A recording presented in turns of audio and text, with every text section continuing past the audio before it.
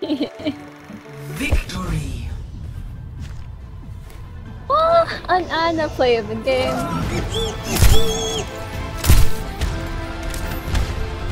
That's rare. Double